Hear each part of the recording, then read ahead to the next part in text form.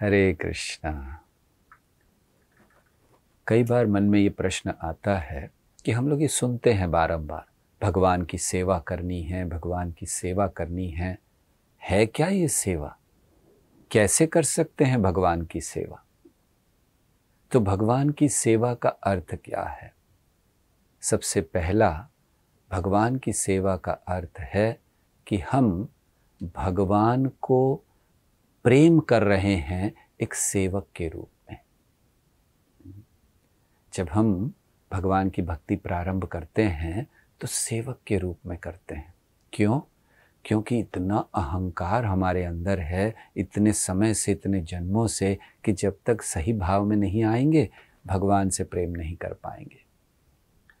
तो भक्ति या भगवान की सेवा का अर्थ है कि हम बड़े निम्न रहकर, अपनी निम्न स्थिति में रहकर या नम्र रहकर हम भगवान की, भगवान को प्रेम करते हैं, लेकिन सेवक के रूप में। तो भगवान की सेवा का अर्थ क्या है? भगवान की सेवा का अर्थ है उनकी इच्छाओं को पूरा करना। देखिए, जब आप किसी की सेवा करना चाहते हो तो जो उनकी इच्छा है, उसको पूरा करना है, या जैसे हम चाहते हैं वैसे होगा? नहीं, जैसे वो चाहते हैं। तो सेवा का अर्थ क्या है? सेवा का पहला अर्थ है, जो भगवान की इच्छा है, उसको पूरा करना। दूसरा, हमें भगवान के अंदर जो गुण हैं, उनके जो अंदर महान, या कहना चाहिए कि बहुत विशेष, अति विशेष गुण हैं, जो सब में नहीं हैं, उनको जानने का प्रयास करना। ये सेवा का अंग है। कभी कभी सोचा जाता है कि सेवा मतलब केवल चलिए, मंदिर में जाना है, झाड़ू लगाना है। हाँ निश्चित वो भी सेवा है। या फिर जाकर प्रचार करना है, ये निश्चित सेवा है। लेकिन सेवा ये भी सेवा है कि हम भगवान के गुणों को जाने, भगवान के स्वभाव को जाने, भगवान की महिमा को जाने और फिर अपने आप को एक केवल सेवक ही नहीं, एक दास ही नहीं, एक ऐसे कहना चाहिए कि हम केवल उनके लिए बिक चुके हैं। ऐसे हम उनके बिके हुए दास के रूप में, हम कहना चाहिए गुलाम के रूप में, जैसे गुलाम होता है जो अपनी सारी स्वतंत्रता को त्याग देता है, बिक जाता है, ऐसे भाव में हमें उन्हें स्वामी मानते हुए उनकी सेवा करनी। तो पहली चीज़, भाव क्या होना चाहिए सेवा का? ये भाव होना चाहिए। और फिर सेवा क्या है? जैसे भगवान के श्री विग्रह होते हैं तो उनकी पूजा आराधना करना, मंदिर जाना, मंदिर में, मंदिर को साफ़ करना, मंदिर मार्जन करना, भगवान पर ध्यान करना, ये सारे अंग सेवा के हैं। और साथ ही साथ जो साधु हैं, जो भक्त हैं भगवान के, उनकी सेवा करना, ये बहुत महत्वपूर्ण है। जब हम कह रहे हैं भगवान की सेवा तो भगवान की सेवा में उनके भक्तों की सेवा भी आती है। तो उनके भक्तों की सेवा करना और अपने आप को सदैव हर एक का दास समझना।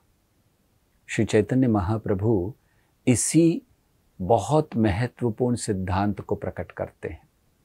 दास दास, दासानुदास। तो भक्ति क्या है, सेवा क्या है, कि हम भगवान की सेवा कैसे कर सकते हैं? अपने आप को दास समझकर। बस दास रूप में रहकर। जब हम शास्त्रों का पालन करते हैं तो ये सेवा है। क्योंकि शास्त्र क्या है? भगवान की वाणी है। जब जब भगवान बांसुरी बजाते हैं तो उनकी बांसुरी की धुन से शास्त्र प्रकट होते हैं। तो भगवान की वाणी है और भगवान ने स्वयं इन शास्त्रों को दिया है तो इसीलिए शास्त्रों का पालन करना ये सेवा है।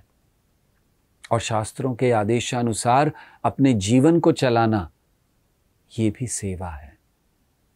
क्योंकि वो सीधे भगवान के शब्द हैं, भगवान से आ रहे हैं। सेवा का एक महत्वपूर्ण अर्थ ये भी है कि हम ऐसे लोगों के साथ रहें, जो कह देना चाहिए कि जो नशे में हैं। शराब के नहीं, वे नशे में हैं, कृष्ण के प्रेम के, भगवान के प्रेम में। नशे में है। अर्थात सदैव उनका मन भगवान में लगा है। ऐसे लोगों का हमें संग करना चाहिए और ऐसे लोगों की हमें सेवा करनी चाहिए।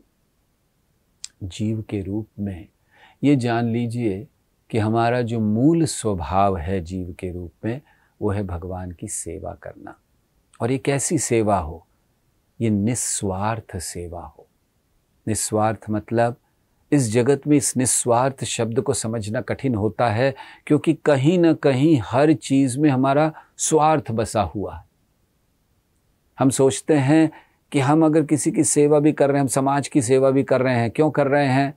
जैसे कोई समाज की कोई राष्ट्र की सेवा करना चाहते हैं क्यों करना चाहते हैं कि कहीं पर कोई आ, कोई राजगद्दी मिल जाए कोई कोई नेता बड़े बन जाए तो इस तरह से वो करना चाहते हैं।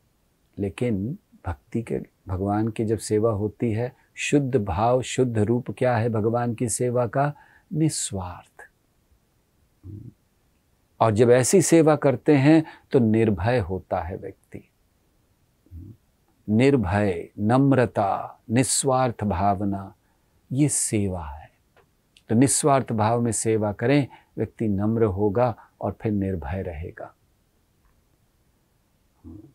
और ये कैसे आता है? ये स्वाभाविकता आता है धीरे धीरे आता है।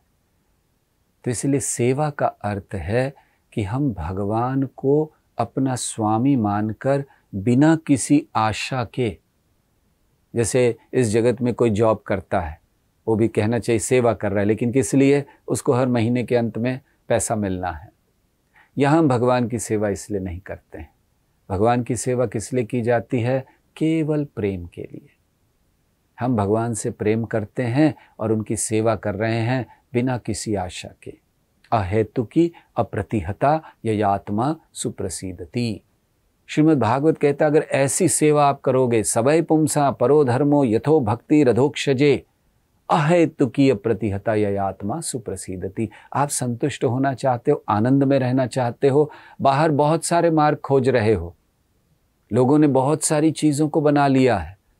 हाँ, बहुत बड़े बड़े उपकरण बन गए हैं। सुविधाओं के लिए बहुत सारी व्यवस्था हो रही है। किस लिए? हम सुखी रहें। लेकिन एक बहुत सरल उपाय भागवत में दिया है। सवय पुमसा सभी लोगों के लिए। ऐसा नहीं कि केवल कोई एक एक जाति विशेष के लिए या कोई एक व्यक्ति विशेष के लिए। सभी लोगों के लिए। सवय पुमसा परोधर क्या है? यथो भक्ति रधोक्षजे सेवा करें भगवान की। और कैसी? अहेतु की। कोई हेतु नहीं है उसमें। अप्रतिहता और वो खंडित खंडित नहीं होती।